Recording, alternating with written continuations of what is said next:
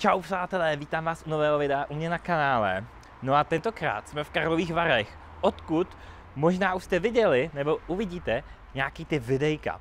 No ale tentokrát tohleto video bude zaměřeno pouze na prameny tady v Karlových Varech. Pokud tu jste noví a ještě u mě nemáte třeba odběr, tak neváhejte mi ho tam dát a klikněte na ten zvoneček a vám příště přijde upozornění o novém videu. No a my se teď nacházíme u prvního pramenu, teda úplně nejvíc na sever, a to je železnatý pramen. A je to číslo 16. On není vlastně ani moc uveden vůbec na takových těch hrníčkách, co si tady můžete koupit.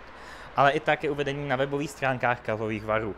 No a abych něco o něm řekl. Jeho teplota je pouze 14,3 stupně, což je opravdu studení. Prvně zachycen byl roku 1852 a vydatnost je pouze 1,8 litrů za minutu. No a Obsah CO2 je 1600 mg na litr. No a už od pradávna tady ten pramen tady zbarvoval zdejší stráň a 19. století byl tady ten pramen používán k léčební kůře. No a my ho jdeme teď ochutnat. Natoč to, Adelko.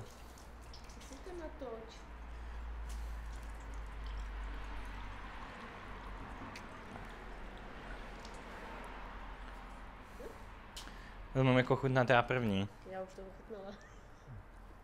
Je voda? Jo, To je normální. Lidi to říkám. Pitná voda. Ale přitom má velk, velký jako obsah železa, že to nechcítíš. No tak přátelé, tady ten pramen chutná úplně jako obyčejná voda.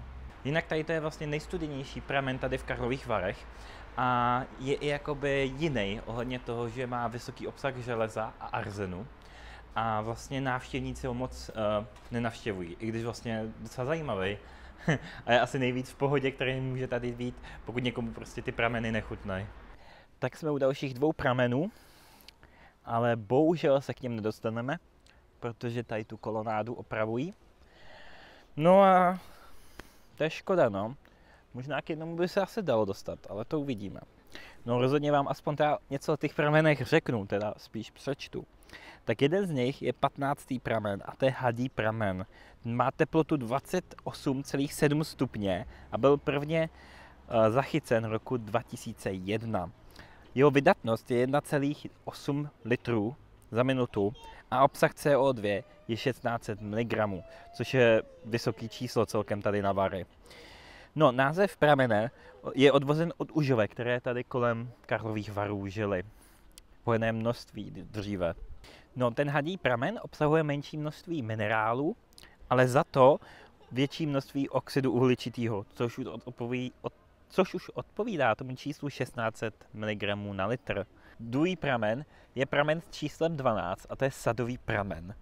Ten má teplotu 41,6 stupňů a první zachycení bylo již v roce 1852. Vydatnost je 1,5 litru za minutu a obsah CO2 je 750 mg na litr. Pramen byl objevený při hloubení základů vojenského lázeňského ústavu. No a byl i používán k tým účelům, jako léčebná kůra.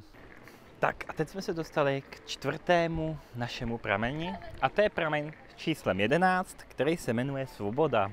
No a tenhle ten pramen byl objevený při kopání základů pro lázně číslo 3 v 60. letech 19. století. Vedle tohohle pramene byl ještě dříve jeden pramen, který se jmenoval Špitální. Bohužel ten už dneska neexistuje. Teplota tohohle pramenu je 62,4 stupně a vydatnost je nějakých 5 litrů za minutu. Obsah CO2 je 550 mg na litr. Co bych k němu řekl? Je tam cítit železo a je takový sladký docela. Možná bude tou svobodou, proto se tak možná jmenuje. I když někdy jsem slyšel snad, že kvůli tomu se tak jmenuje. No rozhodně Adelka už se ho asi nenapije. Chceš se napít? Protože včera ho ochutnala a málem hodila kakničku. No ono jí to totiž moc nedělá dobře tyhle ty prameny. Prostě jí to zatím nechutná. Mně jako malýmu to taky nechutnalo, no. Ale ona už není malá, takže teda teda vejškově vlastně je malá, tak možná na to má vliv vejška a ne věk. No takže místo pramene tady Adelka jí zase další oplatku, tentokrát nugátovou. Tiramisová. Jo, tiramisou, no jo, tiramisou, ano. Mně totiž chutná trochu jako nugát, tak proto si to teď pletu. My jsme se teď posunuli o pár metrů dál a to k Mlínské kolonádě, která je tady. Taková ta nejznámější snad stavba tady ve Varech, která byla postavená v letech 1871 až 1881. A o pár let později byla hned rozšířená ještě o další část. No a tady na nás čekají čtyři prameny, respektive pět, protože jeden je rozdělený na dvě, jakoby, na dvě takový ty, odkud to pramení, ano, přesně, na dva prameny, ano, tak bych to řekl. No a jako první nás čeká skalní pramen. Ten má teplotu 46,9 až 48 stupňů a byl zachycený roku 1845. Jeho vydatnost je 2,2 litrů za minutu a obsah CO2 je 640 mg. Původně tady ten pramen eh, vyvěral přímo v té říšce teplé, která je za námi. No a můžeme to jít ochutnat. Podle mě to chutná, jako kdybyste lízali skálu. Přesně tuhle tu, co je za mnou. Tak nějak to chutná, no. Adelka má svoji speciální flašku, do které se může případně flusnout. A tady jí dávám štafetu. Ochutnej.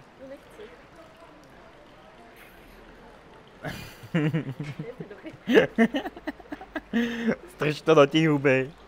Ono to neteče, Míšu. Tam není.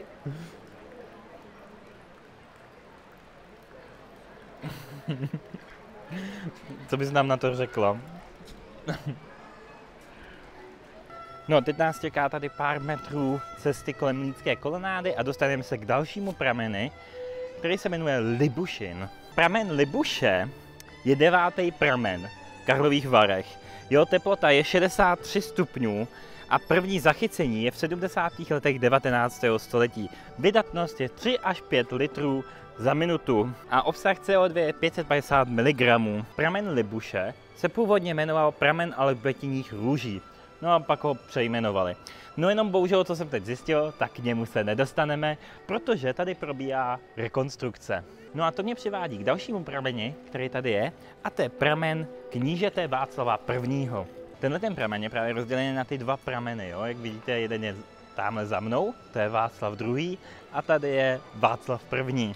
No, Václav I. má teplotu 65,6 stupňů, byl prvně zachycen roku 1784 a vydatnost je 4 litry za minutu. Obsah CO2 je 500 mg. Za to Václav II. Má teplotu 64,3 stupně, první zachycení bylo ve stejný rok a obsah CO2 je také 500 mg. No a dříve, když ještě pramenil až do říčky teplé, tak se mu říkalo Bernardův pramen.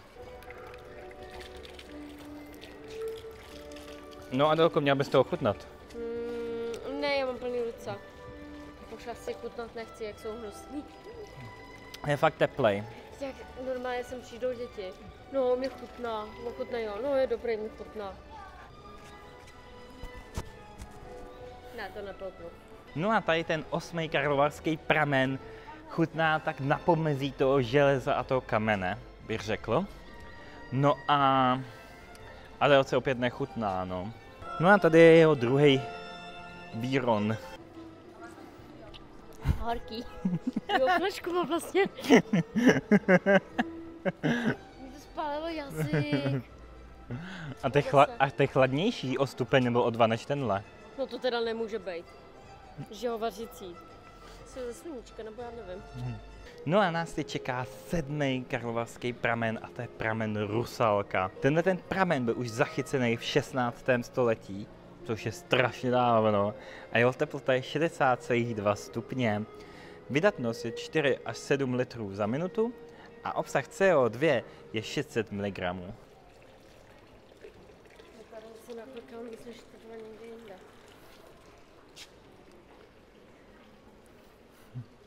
Proč nenatáčíš?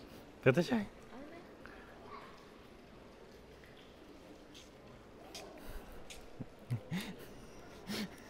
Co pak, Adelko? Jo, tak tenhle ten už ho- je cítit hodně po železe. Fakt takový, už to není takový jako kamení, jako byl ten první pramen tady, ale už je to takový železo. No a teď nás čeká poslední pramen tady v Mlínské kolonádě a to je pramen Mlínský. Je to šestý pramen karlovarský a jeho teplota je 56,6 stupně. Prvně zachycen byl v 16. století taky. Vydatnost tady toho pramene je 4,5 litru za minutu. Obsah CO2 je 600 mg. Mlínský pramen patří mezi nejstarší zachytávané karlovarské minerální prameny. Název dostal díky nedalekému mlínu na řídce Teplé. No a Adelka už nám nalívá, nalívá tenhle ten teplej pramen. Tváří se u toho kysele. Už to ochutnala? Ne, já už to nechci chutnat. O, je fakt teplej. Tvoje to není úplně nejhorší. Ne, Jaký byl nejlepší odtud? Rozhora. A jo, tady ten pramen, tak ten, ten je docela v pohodě za mě. Podle Adely není nic v pohodě, ale za mě je v pohodě celkem. Před chvílí jsme se dostali k tržní kolonádě, která je tamhle za námi, ta před námi dole. No a tady nás čeká pár pramenů. Sakra, něco mi přistalo na brýlích. Ej, dej to pryč. Jo, to je taková ta žlutá. No, jako první nás čeká horní zámecký pramen. Tady ten pramen má teplotu 55,9 stupně a první zachycení bylo v roce 1769. Vydatnost je 1,5 litru za minutu a obsah CO2 je 600 mg. No a my teď půjdeme ochutnat tady ten pramen číslo 4. Taková trochu prostata. No. A on, je, on je takový jemný. Možná se mi to jenom zdá, ale ochutnej to. Neříkej, že ti nechutná. Mně přijde furt všechno stejný, sladký, železnatý. Prostě ne, nebudu. Teď jsme ochutnali ten horní zámecký pramen, a tak půjdeme ochutnat dolní zámecký pramen. A aby jsme ochutnali dolní zámecký pramen, tak musíme samozřejmě dolů k trž- do tržní kolonády. A ten dolní zámecký pramen má teplotu 55,6 stupně. Prvně zachycen byl roku 1769 a vydatnost je 2,5 litru za minutu. Obsah CO2 je zase 600 mg, jako u plno jiných pramenů tady v Karlových Varech. Jinak tenhle ten pramen by měl mít tady dva prameny, ten dolní, ale k tomu jednomu bychom se neměli dostat, teda na mapě jsem ho vůbec nenašel. No a tady vidíme tržní kolonádu a tady je ten zámecký dolní pramen. Je to číslo 3, jak můžete vidět. To je větší čůrek, než tam ten nahoře. Tak tenhle, tenhle mi chutná snad méně než ten nahoře. Chceš to ochutnat? Nechceš, já si to myslím. No ten horní je jemnější, než tady ten dolní. Teď nás čeká další pramen tady v tržní kolonádě a to je tržní pramen, nečekaný. Je to pramen číslo 5, má teplotu 65,2 stupně a první zachycení bylo roku 1838. Vydatnost tady toho pramene je 4,9 litrů a obsah CO2 je 500 mg. Tenhle ten pramen byl objevený při stavbě tady té tržní kolonády. Doufám, že mi to pocáká ruce.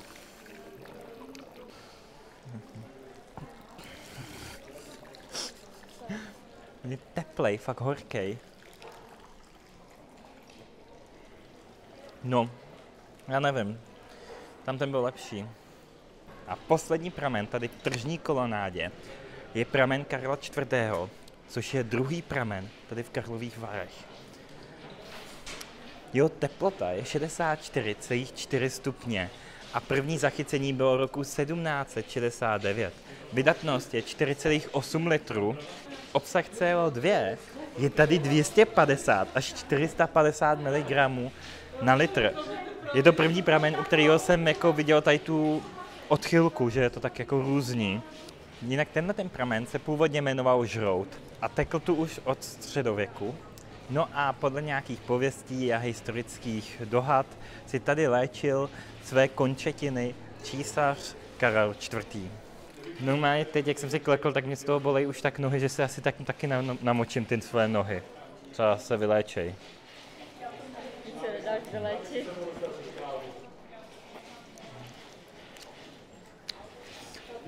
No mé, už asi jsem sechucenej, jo. Lepší bylo, kdyby tady tekla ta becherovka. Jinak tady je bronzová rytina ohledně toho objevení tohohle pramenu Karlem IV. od Adolfa Zerkela. No přátelé, konečně jsme se dostali k vřídlu číslo 1, který celkem tady má několik vřídel, protože se označují A až F. Teplota těchto vřídel je 30 až 72 stupňů a průtok tady je 2000 litrů, což je několikanásobně víc než jakýkoliv vřídlo tady. No, částí vody se používá k lázeňským účelům, část se používá k výrobě minerální soli a část se používá k pokamenování suvenýrů. První zachycení tohoto pramenu bylo v 16. století. Tehdy tady stál malinký altán, který díky tomu, že občas to celý vybouchlo a bylo ten proud moc silný, tak se mohl jednoduše opravit. Obsah CO2 je tady 400 mg. Mně přijde tady ten prostě jako nejlepší na jednu stranu. Hej fakt, ochutnej to. No přátelé, radši jdeme na chvíli dovnitř, protože jsem teď dostal docela slušnou studenou sprchu, i když to má 60 stupňů. No a tady jsou další vřídla. No bohužel z důvodu rekonstrukce tady nemůžeme využít všechny ty prameny, protože to tady opravují. I to hlavní vřídlo vlastně přestěhovali zevnitř ven. Takže nevím, kdy to bude opravení. Bohužel vám to neřeknu. No a my už se blížíme k 13. prameni, což je Dorotičin pramen. No a on to vlastně není ani moc pramen. Sice byl objevený v 18. století a vydatnost má pouze půl litru, tak i přesto bohužel není přístupný. A to z toho důvodu, že jak jsme si říkali, že většinou u všech těch pramenů bylo CO2 tak 600 mg na litr, tak tady je CO2 45 litrů za minutu. Takže vlastně tady ten pramen, co je za mnou, v tomhle tom pavilonu, tak vlastně by nás asi zabil. Takže doročím pramen nejde řadit k běžným pramenům karlovarským, protože tu je prostě silný výron suchého oxidu uhličitého. Ano, přesně musel jsem si to přečíst. No a ten výron je doprovázen malinkým proudem mineralizované vody. No a to je těch půl litru za minutu, což je fakt malinko. Jinak dneska jsme byli v muzeu a zákaznickém centru Becherovky. A tam nám vlastně říkali, že Becherovka je takový třináctý pramen tady. Tak možná tím chtěli říct, že vás to zabije, když toho vypijete až moc. No. Přátelé, právě jsme došli tady ke Štěpánce a Štěpánka neteče. Je suchá. Ach jo. A to Adéla i já jsme se jí chtěli napít, jo.